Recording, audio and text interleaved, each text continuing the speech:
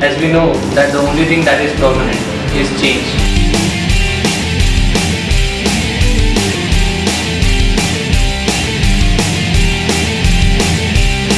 A positive change will be brought by the youth of this country.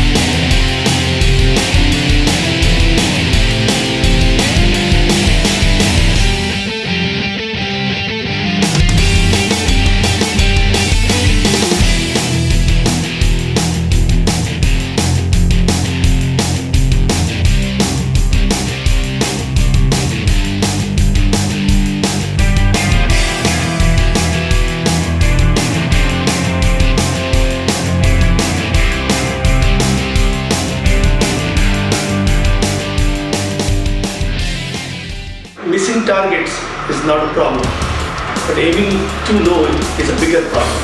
As we know that today's youth lack self-confidence, motivation, direction.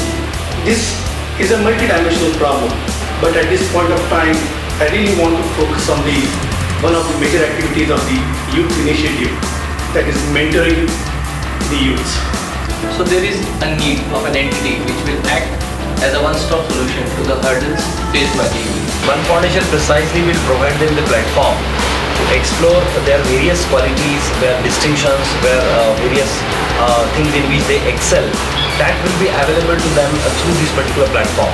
The beneficiary age group of this initiative would be from 14 years to 30 years. And if we and if we closely look at this age group, we find that most of the decisions regarding their career, their profession, and their success are made in this age. One Foundation is one such initiation which has been started by five of us with the sole intention to act as a catalyst.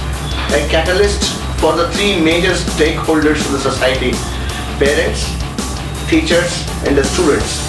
We want their talent value to really get converged with the excellence and bring about a positive change. It would unleash his potential. The as again, you know, one percent of mentoring has a capacity to exercise almost 100% excellence. The whole initiative revolves around the philosophy and inspiration behind Power of One.